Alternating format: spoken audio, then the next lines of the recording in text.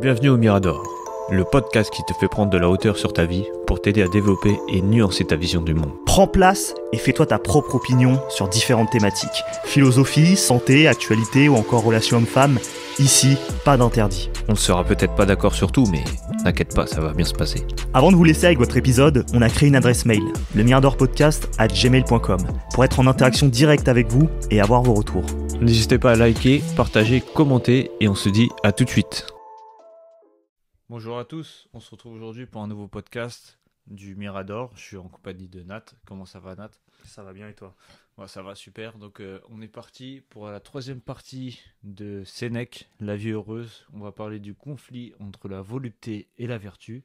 Je vais laisser Nat lire le passage et on se retrouve après sa lecture pour un petit débrief. Alors donc ouais, c'est parti, on reprend. Mais toi aussi, me diras-tu, tu n'as d'autre raison de cultiver la vertu, sinon l'espoir d'en retirer un certain plaisir. Distinguons.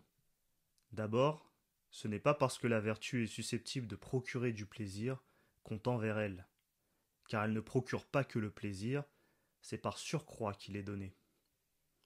Ce n'est pas lui qu'elle s'efforce d'atteindre, mais c'est en visant à toute autre chose qu'elle l'obtient en plus. Quand un champ a été labouré pour la moisson, quelques fleurs poussent dans ses sillons. Ce n'est pas pour ces herbettes si agréables qu'elles soient au regard qu'on s'est donné toute cette peine. Le semeur avait autre chose en tête. Les fleurs sont apparues comme un supplément. De même, le plaisir n'est ni le prix ni la cause de la vertu, mais quelque chose qui vient en surplus.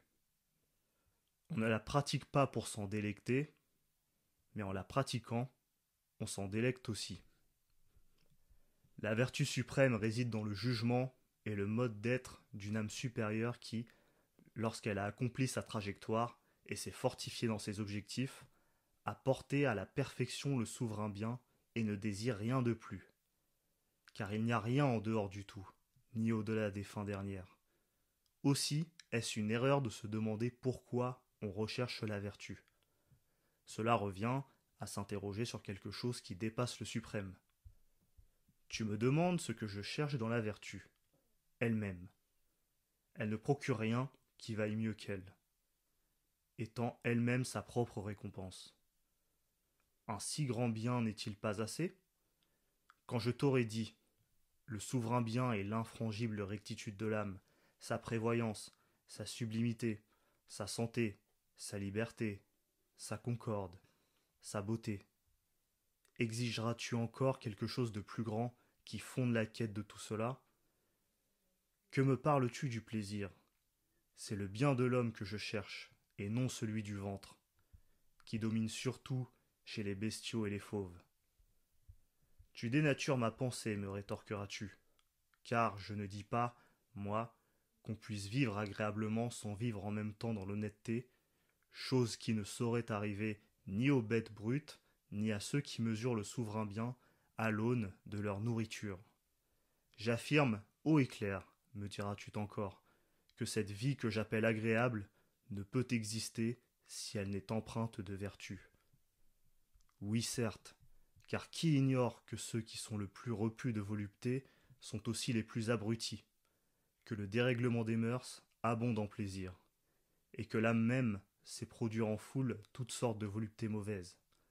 Au premier chef, l'arrogance, la présomption, l'orgueil, qui fait qu'on se croit au-dessus de tout le monde, et puis un amour aveugle et irraisonné de ce qu'on possède, des jouissances débordantes, des joies exultantes tirées de simple mesquinerie et de puérilité, et encore le persiflage, la vanité, qui prend plaisir aux affronts, et la paresse, et la dissolution d'une âme indolente qui s'endort en elle-même.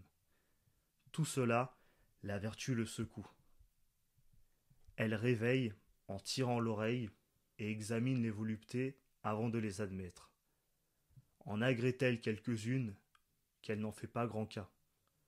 De toute manière, elle ne les admet qu'avec précaution, et la satisfaction qu'elle en tire n'est pas d'en jouir, mais de les tempérer. Quand la tempérance diminue, le souverain bien en souffre.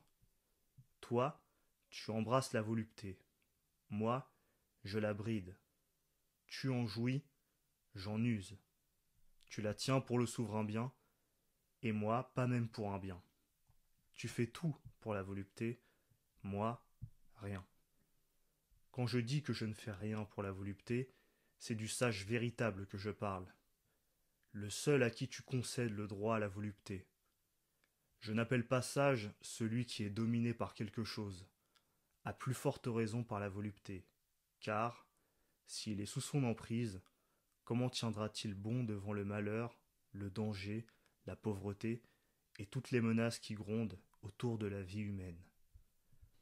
Comment supportera-t-il la vision de la mort, les souffrances, le fracas du monde et tant d'ennemis opiniâtres? Quand il est vaincu par un si molle adversaire Tout ce que la volupté lui conseillera, il le fera. Allons, ne vois-tu pas la foule de conseils qu'elle va lui prodiguer? Elle ne pourra rien lui conseiller de déshonorant, me diras-tu, puisqu'elle est unie à la vertu. Mais ne vois-tu pas, encore une fois, ce qu'est un souverain bien qui a besoin d'un gardien pour rester le bien? Et la vertu, comment gouvernera-t-elle la volupté si elle marche à sa suite? Puisque suivre est le propre de celui qui obéit, et que gouverner appartient au chef. C'est le chef que tu mets derrière. Le glorieux rôle qu'a chez vous la vertu, goûtez préalablement aux voluptés. Mais nous verrons si, chez ceux qui la traitent de manière si dégradante, la vertu est encore la vertu. Elle, qui ne peut garder son nom en cédant du terrain.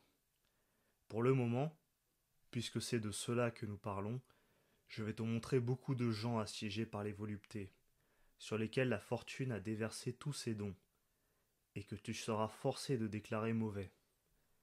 Regarde Nomentanus et Aspicius, digérant les biens de la terre et de la mer, comme ils les appellent et reconnaissant sur leur table toutes les espèces de gibier.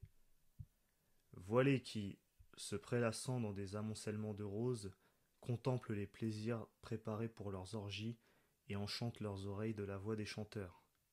Leurs yeux de vision, leur palais de saveur, leur corps entier est excité par de douces et suaves chaleurs, et, pour qu'en même temps leurs narines ne soient pas frustrées, on imprègne de fragrances variées ce lieu où l'on sacrifie aux joies des sens. Tu admettras qu'ils baignent dans les voluptés, mais qu'au demeurant, cela ne contribuera pas à leur bonheur, car ce n'est pas le bien qui fait leur joie. Ils s'en trouveront mal, dis-tu, parce que beaucoup de circonstances surgiront pour troubler leur esprit, et que leurs opinions contradictoires jetteront l'inquiétude dans leur âme. Je reconnais que c'est vrai. Pourtant, ces sots, ces inconstants qui s'exposent à la violence du repentir, jouiront d'intenses voluptés.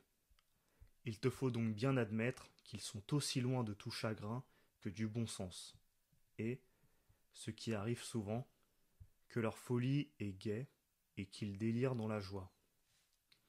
Au contraire, les voluptés des sages sont paisibles, modérées, presque affaiblies, intériorisées, et à peine perceptibles. C'est parce qu'elles arrivent sans être appelées, et que même venues d'elles-mêmes, elles ne sont point honorées ni accueillies avec exultation par ceux qui les éprouvent.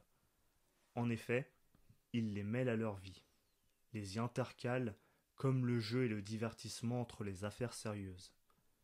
Qu'on cesse donc d'associer des notions incompatibles comme la volupté et la vertu, car avec cette théorie vicieuse, on flatte les plus dépravés. L'homme qui s'abîme dans les voluptés, éructant sans cesse, pris de boisson, sachant qu'il vit dans la volupté, croit vivre aussi dans la vertu. Il entend dire que la volupté et vertu ne peuvent être séparées, alors il inscrit sagesse par-dessus ses vices, et fait étalage de ce qu'il devrait cacher. Ainsi, ces gens ne s'abandonnent pas à la débauche poussée par Épicure, mais, livrés au vice, ils cachent leur débauche dans le sein de la philosophie et courent partout où ils entendent qu'on fait l'éloge de la volupté. Ils ne considèrent pas ce que la volupté selon Épicure a, du moins à mon sentiment, de sobre et de sec, mais son nom seul les fait voler à la recherche d'un défenseur de leur débordement, et d'un voile qu'ils puissent jeter sur eux. De la sorte, ils perdent le seul bien qu'ils possédaient au milieu de leurs maux, la honte de la faute, car ils louent ce dont ils rougissaient, et se font une gloire de leur vice. Aussi, n'est-il même pas impossible à la justesse de se corriger, puisqu'un titre honorable vient parer un avachissement honteux? Merci pour ta lecture, c'était très instructif Ouais. d'apprendre tout ça. Donc, euh, Donc moi- on fait un petit débrief. Moi, ouais. voir un peu Moi, si tu veux, la phrase que j'ai retenue vraiment au tout début, qui m'a fait un tilt, c'est vraiment ce que je vois par rapport aujourd'hui. En plus, on a déjà parlé dans beaucoup de podcasts de, de ça. Mm. C'est euh, la phrase où je dis Que me parles-tu de plaisir? C'est le bien de l'homme que je cherche et non celui du ventre, qui domine surtout chez les bestiaux et les fauves. Et ça, ça me fait penser à quoi? Ça me fait penser à notre besoin primaire, de, c'est la reproduction ou c'est d'aller euh, la testo, tu sais, de, d'envie Ouais. de baiser quoi. Ouais. Et ça, c'est, c'est un truc animal. C'est un truc que si t'arrives pas à contrôler, t'es un, t'es un animal quoi. Et, moi, je- dans cette phrase, c'est ce que je vois. Ouais. Comme par, par exemple aujourd'hui avec la, tout ce qui est pornographie et tout, si tu t'arrives pas à te contrôler, à te dire ouais tiens je vais me taper un petit porno, si t'arrives pas à contrôler, à contrôler ça, bah c'est un peu, t'es encore une bête quoi, t'es encore sauvage. Ouais, c'est clair. dans- moi, ça me fait penser. Bah, moi, je vais t'écouter un peu, un peu cette phrase aussi, et dans le sens où, bah, moi, ce que j'entends dans cette phrase, quand il dit l'homme, moi, je pense à bah, ce qui fait d'un homme un homme et pas un animal, tu vois. Donc, c'est-à-dire la conscience, Oui, l'esprit, ouais. l'âme. Et j'ai l'impression que Sénèque nous dit que c'est ça qui l'intéresse euh, chez, chez, chez l'espèce humaine, plus que le plaisir du ventre, qui effectivement, le plaisir du ventre, c'est en fait tous les plaisirs auxquels, et tous les besoins aussi auxquels un, un être doté de chair et de sang peut avoir besoin, donc c'est-à-dire besoin de se reproduire, besoin de même un peu de violence, besoin de tous ces éléments-là qui font que on est un animal plus qu'un homme. Et moi j'ai l'impression que ouais, il nous, il nous alerte un peu là-dessus ouais, quand, il, quand il parle de... Parce que c'est vrai que quand tu assouvis un de tes besoins ou un de tes désirs, tu en éprouves une source de plaisir. Et c'est Ouais. là qu'il y a un conflit, selon moi, entre ce que, ce que, ce que, ce que Sénèque et le stoïcisme prodiguent comme philosophie, et d'autres philosophies comme euh, l'épicurisme et le stoïcisme, où là, euh, le stoïcisme, le, l'hédonisme, Mm. on, a, on a vraiment des, des manières différentes de concevoir le plaisir et de l'utiliser dans sa quête du bonheur, parce que les trois sont un peu euh, à la recherche Ouais. du bonheur, des philosophies tournées vers le fait de, de chercher le bonheur, mais ils fonctionnent, ils prodiguent des manières complètement différentes de l'atteindre. Ouais, bah c'est ça. Bah, tu sais, au moment où tu m'as parlé, enfin, où tu as commencé à dire le, le fait que dans n'importe quelle chose qui te donnera du plaisir, euh, tu sais, tu, tu le fais, on va dire. Ouais, comme euh, la violence, truc comme ça. Donc tu te dis que des personnes qui, qui font du mal à certaines personnes, qui harcèlent des gens, qui tuent des gens, ça, leur fait, ça leur donne du plaisir. Et ça, c'est fou quand même de se dire ça, tu vois. Ouais, il y en a certains. dire, Après, heureusement, c'est pas tout le monde. Oui, c'est pas tout le monde, mais, mais- tu, mais tu dis, ça, ça arrive. Il y en a, ils prennent leur pied, quoi, à faire des trucs comme ça. Donc euh, tu dis, Ouais. qu'est-ce qui se passe dans leur tête? Et c'est là que j'ai aimé aussi ce que tu as dit par rapport à Sénèque. Quand il... Tu dis que personne aujourd'hui est capable de se dire, tiens, on a une conscience. Mm. Comment se fait-il qu'on ait une conscience? Comment se fait-il que nous, on arrive à penser, à créer des choses, à faire des choses? Personne ne se dit ça aujourd'hui. Ouais. Tout le monde est que en train de consommer comme euh, n'importe quel euh, animal pourrait le faire. Ouais, c'est ça. En fait, il n'y a personne qui arrive à se mettre à, à se dire tiens, nous on est au-dessus parce qu'on bah, justement on pense, on arrive à Mm. faire des, on peut faire des choses, mais personne ne le fait. Bah, il y a cette idée où le, ouais, le, Parce qu'avant tu pouvais penser, maintenant tu penses plus.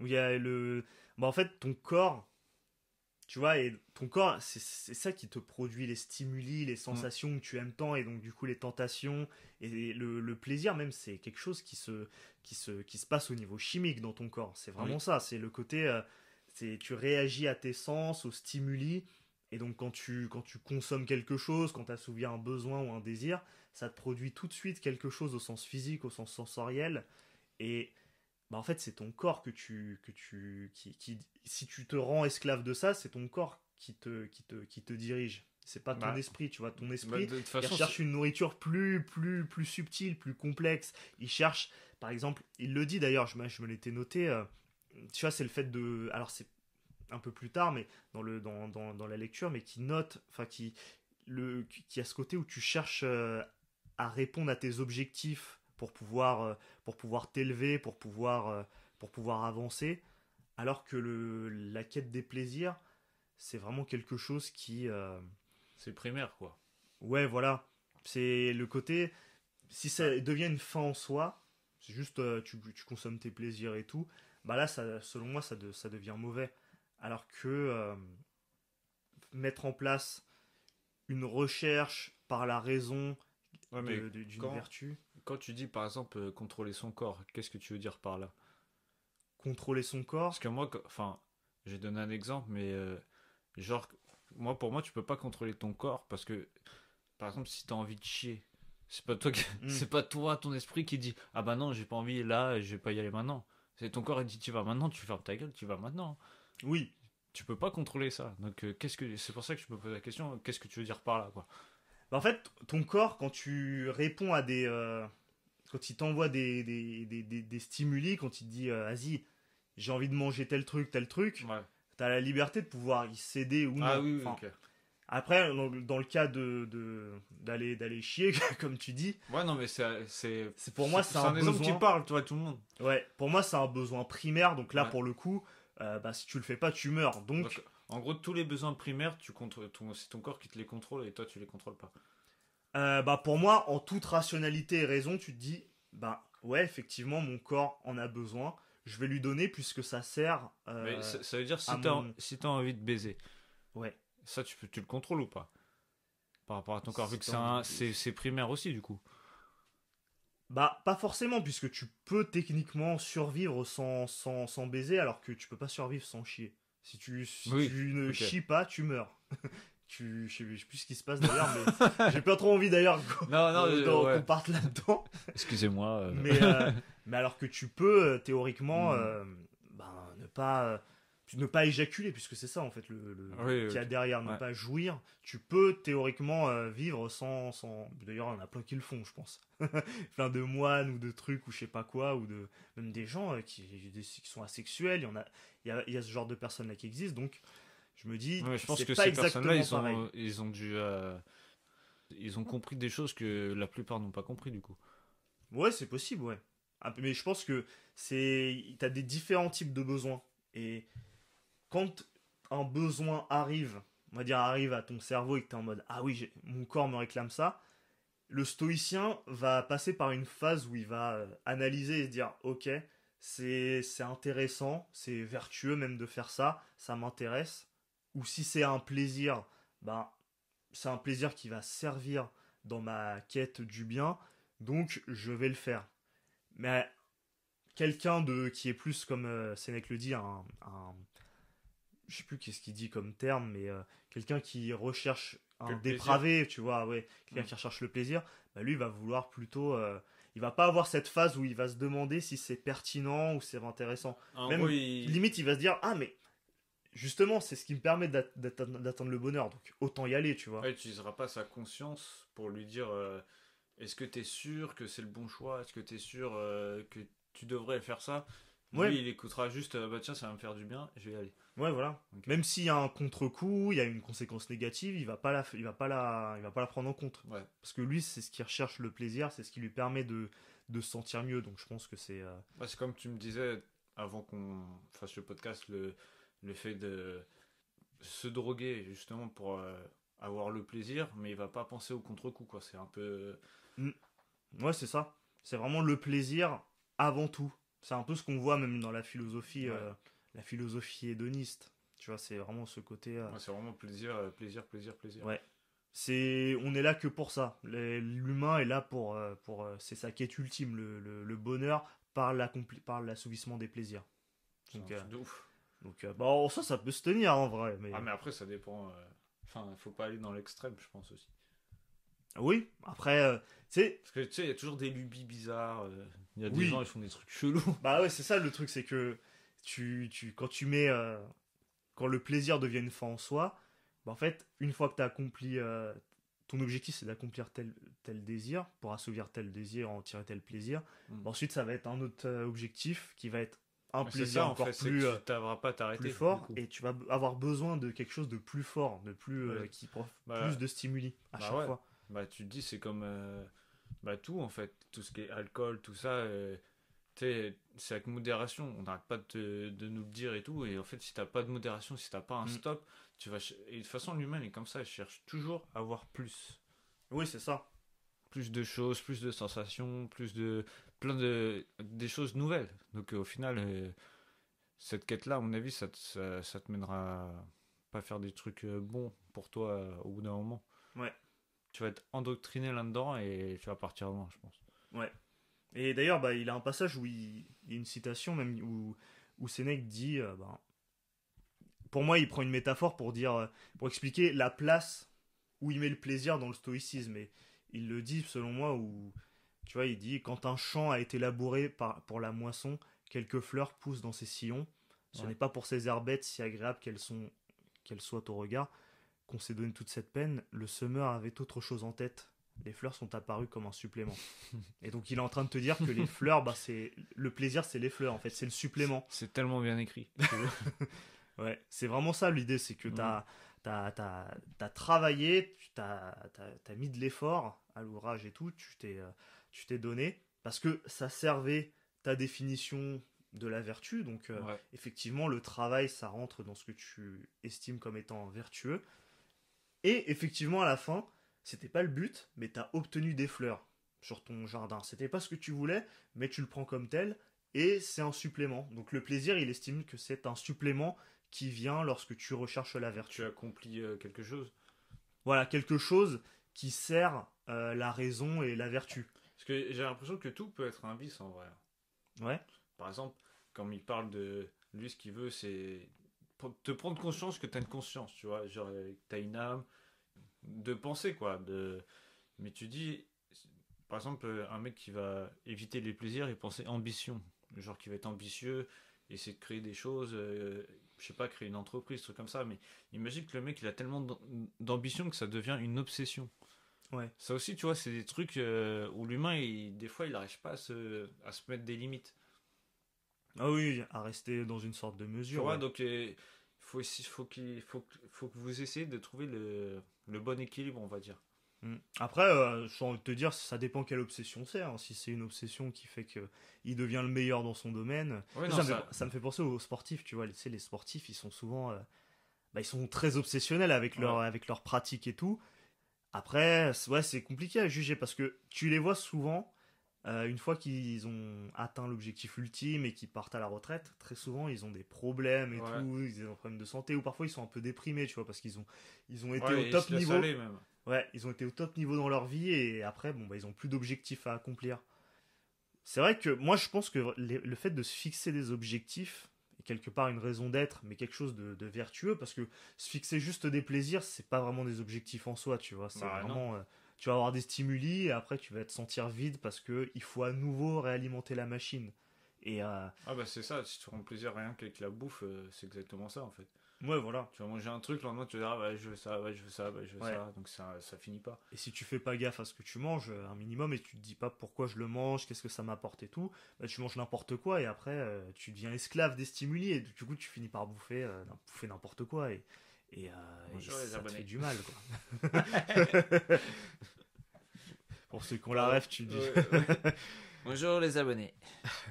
Aujourd'hui, hachis par moitié. Bisous. ça, ça me tue aussi. Mais il y a aussi une phrase qui, où il dit euh, il soutient que la vertu est essentielle pour une vie agréable et équilibrée. Hmm. Qu'est-ce que t'en penses? Euh, bah, dé- pour moi, c'est la définition du, du, Ouais, sto- du stoïcisme même. C'est vraiment, pour moi, le stoïcisme, c'est vraiment le côté où on, on ne prend pas le plaisir en compte. Tu vois, c'est un supplément. Ah bah c'est bien s'il est là, mais s'il est pas là, tant pis. Rien à foutre. Pour moi, le vrai, euh, le, le, le cœur, c'est de chercher la vertu. Et c'est la vertu qui te permettra d'aller vers une vie agréable et Mais équilibrée. après, le... Même s'il n'y a pas tant de plaisir que ça, le fait que tu ailles vers tes objectifs et que tu sais que c'est le bien, ça suffit en soi. et même si par exemple, euh, chaque personne voit la vertu euh, d'une différente manière, mais qui la cherche aussi. Parce que chacun peut interpréter la vertu d'une manière euh, différente. Est-ce que ça ferait un impact ou est-ce que ça ferait ça serait bon quand même? Bah, ce qui compte, c'est, je pense que tu as, ta définition de la vertu. Je pense que quelque part, la vertu, c'est d'être en accord avec sa nature profonde, euh, sa raison et ses actes. C'est une espèce d'alignement, je pense, en, quand même, entre, entre tout ça. Et puis ses valeurs aussi, évidemment, il y, a, ça qui entre en ligne de compte. Et le fait d'être à l'aise et d'être aligné, bah pour moi, c'est vraiment ce qui, euh, ce qui définit le stoïcisme. Et c'est vrai qu'il y a une part de personnaliser, ouais, de, de propre à chacun, de singulier. Ouais, parce que chacun fait une interprétation euh, différente en fonction de sa façon de penser. Mm. Donc, euh, et même de sa culture, tu vois. Donc on vient pas tous de la même culture, ça se trouve dans leur, leur culture, ils vont penser d'une différente manière. Je sais pas. Après, peut-être que ce qui compte, c'est juste d'avoir le cœur pur, quoi. Moi, moi, je pense que faut connaître ses valeurs, il faut connaître ses, sa nature profonde, donc quelque part sa personnalité. C'est ça aussi qu'on va. Mais c'est. Non, vas-y, vas-y. Tu vois, ta personnalité, tes valeurs, ok, donc qu'est-ce que je suis? Tes valeurs, c'est ce en quoi tu crois.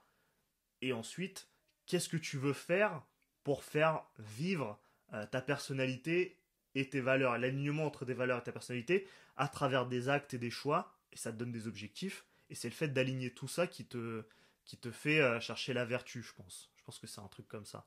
Ouais, parce, que, parce que tu dis qu'aujourd'hui, ça peut être dur pour une personne, vu que la plupart des gens aujourd'hui, ils se connaissent pas eux-mêmes.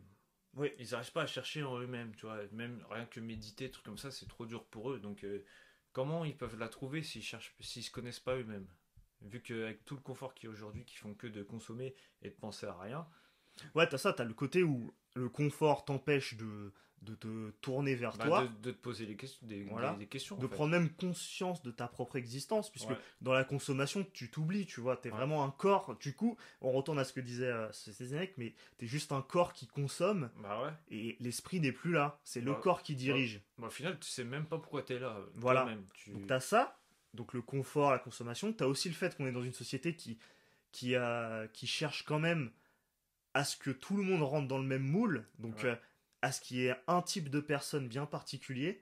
Euh, on en parle souvent, tu vois, mais salarié, éco, enfin l'élève qui devient salarié. Allez voir le, le podcast sur 1984. Euh, ouais. Vous allez comprendre normalement. ouais, c'est ça. Et du coup, il, y a cette, il y a cette boucle qui se crée. Et moi, je pense que ça, ça fait qu'on on passe peu de temps, même quand on est enfant, à se dire mais qu'est-ce que je veux être, qu'est-ce que je suis, qu'est-ce que je suis capable de faire? Et c'est ça qui est un peu, euh, qui est un peu, qui est un peu complexe, je pense, à appréhender dans notre société. Donc je pense qu'il faudrait, euh, faudrait enseigner la philosophie peut-être aux, enfants, peut-être, ou leur faire des cours de développement personnel. Bah je, sais pas. Pense. je, pense. que dans d'autres pays, ça se fait. Parce que même, parce que même là, quand tu prends même les d'autres exemples qu'il a cités par rapport à Nomontanus et Apiscus, qui se livrent au plaisir excessif c'est des personnes qui sont riches, on va dire, qui ont de l'argent. Enfin, mm. tu sais, qui dépensent, qui dépensent euh, juste pour atteindre des plaisirs, euh, que ce soit euh, dans des orgies ou de la bouffe. Donc tu dis, si par exemple un mec, là où je veux en venir, c'est quand tu prends des, stars, tu vois, des trucs comme ça, qui, qui, qui naissent, ils sont jeunes. Quand c'est des jeunes stars, tu vois qu'ils partent en couille au, au bout d'un moment. Est-ce que d'avoir trop d'ambition, de réussir, est-ce que ça est-ce que d'avoir réussi justement, d'avoir beaucoup d'argent, parce que l'argent, on sait ce que ça peut faire aux, gens, est-ce que tu penses que c'est un problème aussi en soi? Est-ce que est-ce que c'est pas ça aussi le problème? Le fait d'avoir trop d'argent bah, euh, Quand, quand tu as trop d'argent, tu sais que tu peux faire des, plein de choses que tu pourrais pas faire. Ouais. Même des choses, euh, je sais pas, qui sont pas très correctes. Tu, tu, tu, peux tout faire, tu peux tout acheter. Ouais, bah, je pense que ça peut, ça peut quand même multiplier vachement les tentations. Parce que d'un côté, quand t'as pas beaucoup d'argent, tu vas te tourner vers des choses. Après, je pense que ça dépend. Euh, je pense qu'en fait, ton argent définit un peu le type de tentation que tu vas avoir. Au sens où bah, quelqu'un qui. a que pas, euh, on va dire. Ouais, qui est dans un niveau de vie moyen, un enfant qui a un niveau de vie moyen, bah, il va être tenté. Hein. Il va être tenté par quoi? Par les, par les mangas, par les jeux vidéo, par les, euh, par les réseaux sociaux. Comme tous, quoi. Tu vois, TikTok, c'est gratuit, ça ne coûte rien, mm. mais tu peux quand même te, te, te, matrixer le cerveau avec ça et tout. Alors que, effectivement, quelqu'un qui est riche, bah, il va peut-être avoir d'autres euh, tentations et, et d'autres obsessions et lubies, mais qui sont peut-être adaptées à son niveau de. Quoi qu'il pourra quand même utiliser TikTok, hein, mais mm. il va peut-être avoir d'autres euh, trucs. Euh, tu vois, d'autres euh, hobbies, d'autres centres d'intérêt, d'autres euh, passions même, au sens. euh, au sens bah, que, j'ai l'impression même que t'as. Ceux, tu sais, par exemple, je sais pas, tu prends Bill Gates, le mec, tu vois qu'il est, il est riche, mais il est humble de sa personne, comme la façon dont il s'habille. T'entends pas trop parler de lui, enfin, tu vois, il est. Oh, il y a quand même des trucs bizarres Oui. qui sortent sur lui. hein. Non, il y a des trucs bizarres, oui. Non, mais. Et par rapport, je... enfin, je prends un exemple de lui, mais tu vois, il y a d'autres personnes comme euh, Mark Kemberg. Lui, quand tu vois que comment il fait les, les anniversaires de ses enfants, enfin, de sa, je crois que c'est sa fille ou son fils, je sais plus. Mm. Tu vois que c'est un anniversaire comme si moi, là, je prenais mon fils, je lui fais un anniversaire, c'est exactement la même. Il fait un truc tout simple, tu vois. Et quand tu vois des stars qui sont genre des acteurs ou des, des, des chanteurs et tout, tu vois qu'ils prennent des chemins où tu sais, il y a beaucoup de drogue, trucs comme ça. Mm. Et tu dis, euh, il y a une différence euh, tu vois, de, de pensée aussi là. Ouais, ça, ça t'égare beaucoup de. Ouais. de- de- Mais ça, ça me fait penser Est-ce un que peu ça à serait pas une doctrine, tu vois, par rapport au milieu dans lequel ils sont? Une doctrine? Ben, c'est le show business, je dirais. Ouais, c'est voilà. le côté où tu, tu, pour être au contact des gens avec qui tu fais affaire, euh, ces gens-là, ils te poussent parfois à consommer, à faire des fêtes, à aller Ouais, en soirée et à être cool, un en... Ouais, c'est ça, à être dans une forme de dépravation. Euh, tu vois, si tu veux faire des concerts, tu veux travailler avec tel producteur, tel producteur, il fait des soirées à fond et tu sais que pour être en contact avec lui, il faut faire telle soirée ou, ou même tu rentres dans un cercle social. Donc euh, on partage des valeurs, des rituels. Le rituel, c'est prendre un rail de coke avant d'entrer en studio, avant de commencer. Bah, c'est un peu le rituel, tu vois. Ah donc ouais. c'est- compliqué. Hein. Parce que le show- tout le show business, c'est comme ça. Mais, mais, je pense mais est-ce que. que ça changerait pas si la personne elle se connaît euh, elle-même avant? que Si euh, par exemple apprend Peut-être, la, mais apprend c'est la vie sûr. heureuse de Sénèque, elle le lit, elle se, elle se remet en question et elle commence à être connue et même s'il y a les gens qui viennent pour l'endoctriner, le, enfin la, la mettre dans ce show business là ou dans ces, ces, délires là, est-ce qu'elle elle le ferait quand même? Je pense que ça dépend de sa, sa personnalité. Parce qu'en soi, lire ça. Je, je sais pas euh, en quelle mesure le, le, le fait de tomber sur ce livre. Parce qu'il faut être prêt quand même à le lire, ce livre. Faut être, le, le stoïcisme. Bah, moi, je te dis, même ce livre-là, on me l'a offert il y, a, il y a une dizaine, même plus, une dizaine, une quinzaine d'années. Euh, je l'ai lu, j'étais en mode. euh, ah, MDR, c'est chiant, quoi. tu vois je l'ai mis de côté et je l'ai retrouvé euh, des, des années après. Et je me suis dit, waouh, mais c'est vrai en fait. Et euh, j'ai Ah, commencé et, à lire Une et fois tout. que tu as commencé à mûrir, que tu as commencé à, à Ouais, voir des choses. c'est faut avoir quand même un peu vécu pour que le stoïcisme tu puisses vraiment euh, comprendre, te l'accaparer. Faut avoir fait des erreurs, faut avoir été justement dans la volupté et ne pas avoir compris vraiment qui Ouais, t'étais. Faut peut-être poser genre, toutes ces euh, questions, tu vois. D'avoir été euh, comme nous, genre, tu sais, quand on jouait beaucoup à la play et tout, Ouais, quand on était gosse. ouais, c'est ça. Il faut avoir euh, être quelqu'un qui parfois a fait les mauvais choix parce qu'il a trop écouté la mauvaise voix dans sa tête, tu vois. Ouais. Moi, ça, moi, quand j'ai quand j'ai lu ce passage, euh, ça m'a fait penser, tu vois, aux dilemmes moraux qu'on a dans dans plusieurs dans plusieurs croyances dans, di- dans différentes cultures. Et d'ailleurs, on l'a abordé dans des épisodes Ouais. de nos podcasts qui n'ont rien à voir. Tu vois, on, Ouais, en a parlé dans dans le dans l'un des chapitres de Joe Dispenza. Mm. On en a parlé aussi dans la légende des deux loups. Tu vois, c'est le fait d'avoir d'avoir deux forces, d'avoir une, vo- une voix dans ta tête qui te dit de faire des trucs, de faire des trucs. Et parfois, c'est des trucs, tu sais que tu vas le regretter si tu le fais, mais c'est tellement confortable. Mais et en tu le fais. J'ai l'impression que ça, ça date de. Il y a hyper longtemps même que tu, tu vois ça dans les dessins animés. Oui. Tu vois, dans les dessins animés, quand t'as le petit démon et genre le petit ange qui dit Non, mais le fais pas. Mais si, fais-le, Ouais, tu vas ça. voir, tu vas être trop bien. Ouais, c'est ça. Et, euh, mais en fait. euh, Mais c'est des croyances qui viennent depuis Mais long- tu sais, c'est comme longtemps. si t'avais vraiment genre le diable et genre un ange qui est là. euh, Ouais. Qui est. C'est chaud, hein. Oui, mais c'est ça, c'est des croyances. C'est issu de, de plein de folklores différents, de la religion chrétienne, Ouais. euh, de légendes même amérindiennes. de- On a tous un peu ce, ce, du- ce dualisme, ce, ce dilemme moral quand on, quand on réfléchit à, à quoi faire. On a une voix qui nous dit euh, ah tu devrais faire ci et tout, ça te ferait, ça te ferait, ça t'élèverait, ça élèverait ton âme. Et tu as tendance à te dire que c'est l'ange, tu vois, qui te dit ça. Mm. Et l'autre, il te dit euh, ben c'est sais, il, il a une apparence de démon et Ouais. puis il te dit ah fais ci, fais ci, on s'en fout et tout, fais-toi plaise. Bah ouais, sois égoïste. putain. Voilà. mange, mange ces pizzas, mange, mange cette pizza. J'allais dire ces pizzas parce que je pensais à moi là, mais, Ah le gros là mais Oh, tu vois, mange cette pizza, tu vois. Au lieu d'aller te faire un plat, je sais pas, des, des légumes ou un Ouais. truc qui soit, qui soit vertueux, mais on a toujours un peu ce. ce- Et pour moi, c'est le fait.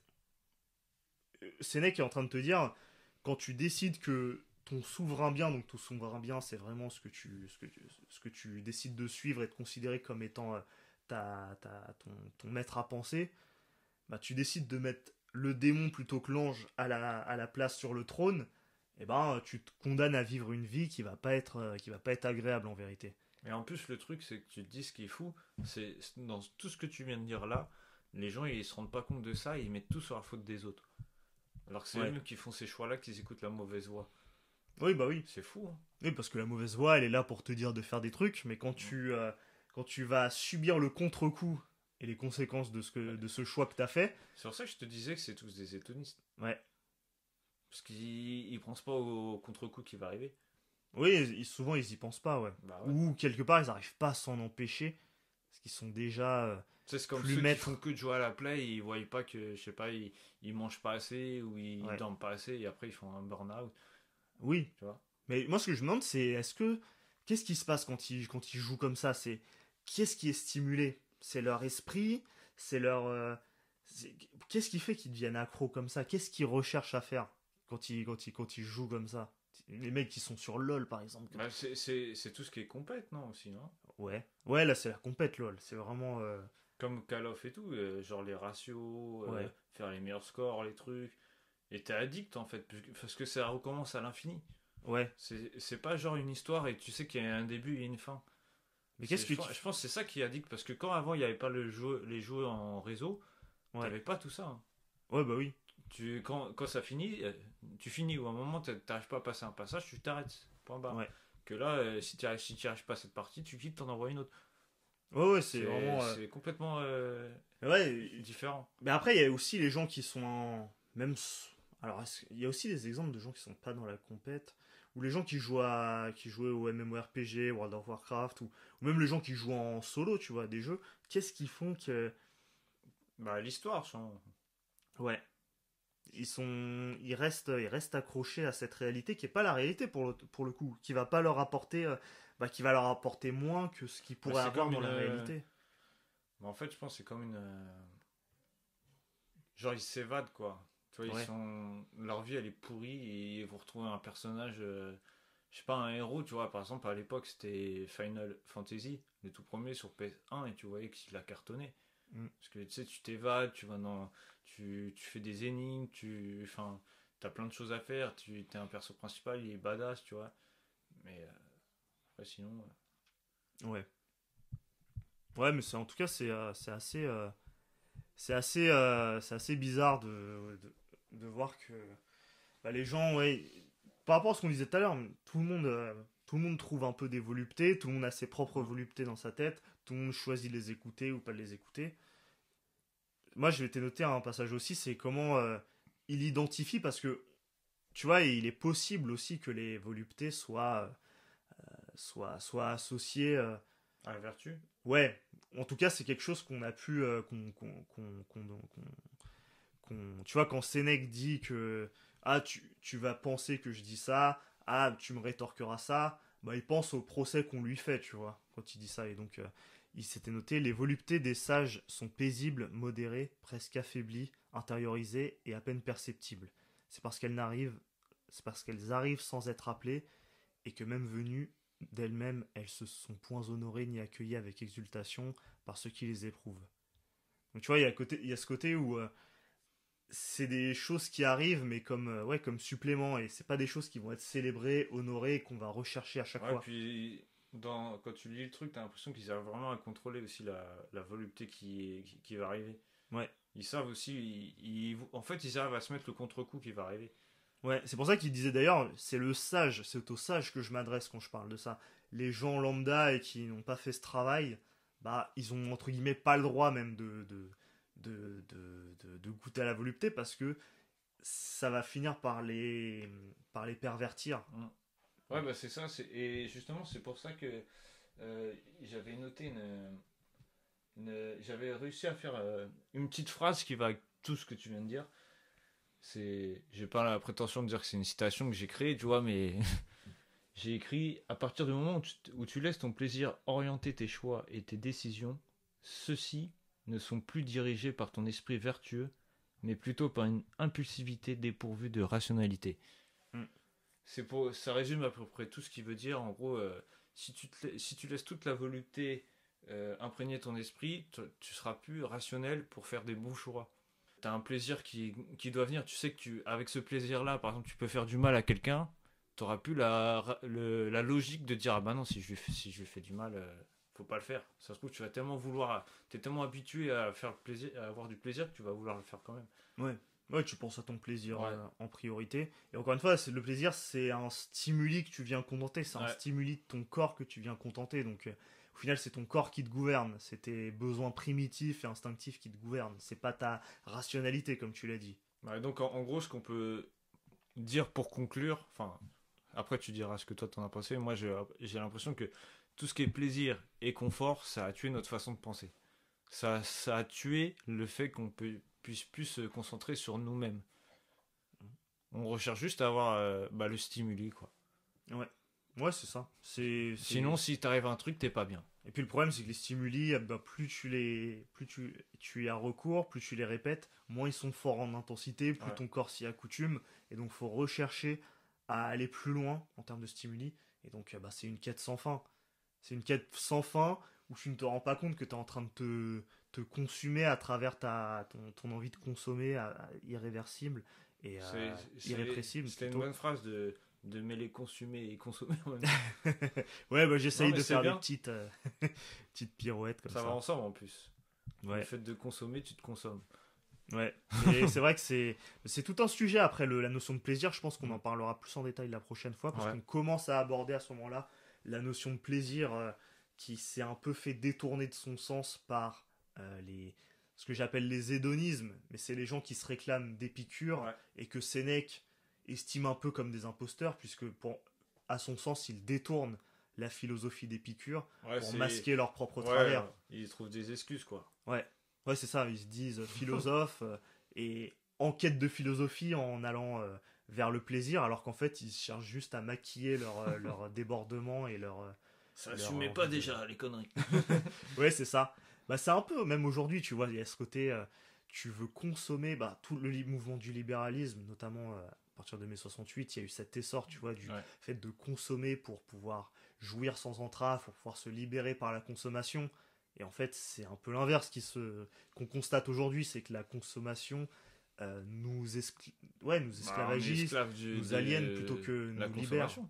Ouais. On pensait que ça allait nous libérer, mais en fait, ça fait tout l'inverse, ça nous enferme. Bah ouais. Ouais. Ça t'enferme, ça te. c'est- En plus, tu te détruis tout seul. Vu que tu sors plus, tu consommes, tu fais que de consommer, même. euh, Enfin, en plus, en tout. C'est même pas que dans un domaine. Là, Ouais. c'est en tout, tu vois. euh, tout ce qui est internet, tout ce qui est vidéo, tout ce qui est jeux vidéo, tout ce qui est bouffe. En fait, Ouais. tout, tu, tu consommes et bah, ça, ça te gâche la vie, en fait. Ouais. Au Sur- final, sur le hein. coup, tu te rends pas compte parce que tu es en plaisir constant. Mais à un moment donné, tu vas voir que t'as rien fait dans ta vie et Ouais, t'auras même pas pensé à faire quelque chose, tu vois. Ouais. Tu vas dire attends, mais en fait j'ai, en fait j'ai toujours rêvé de faire ça. Mais si j'aurais su, bah ouais, mais si j'aurais su, il est trop tard, mon gars. Oui, t'aurais pu le savoir. Ouais. Enfin, t'as choisi de ne pas écouter la voix qui te le disait, C'est ça. puisque t'as choisi de mettre la volupté sur le trône plutôt que la, la vertu. Donc euh, moi je dirais, pour vraiment conclure, écoute la voix de Dan et Nat qui sont là pour euh, la vertu. Ouais. On est, on est ta vertu aujourd'hui.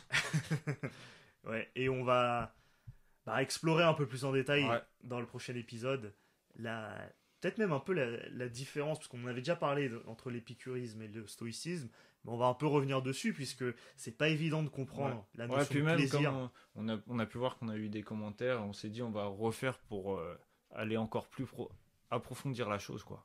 Oui, on va en profiter pour un peu situer, parce qu'on a trois, un peu, on a un peu trois philosophies, tu vois, entre Ouais. le stoïcisme, l'épicurisme et l'hédonisme. Euh, et donc c'est important de. En plus c'est pas très connu ça, donc euh, ça va être un... Bah, je pense que c'est connu, mais les gens se rendent pas compte qu'il y a vraiment un philosophe derrière ça. qui sont vraiment hédo- hé- hédonistes. ouais, quelque part, sans le comprendre eux-mêmes, et donc ça va être intéressant pour ça. ouais. Donc euh, restez à l'écoute, et nous on vous dit ben, à la semaine prochaine pour un nouvel épisode. Et sur ce, Ce, bah, portez-vous bien et à la semaine prochaine. à la semaine prochaine.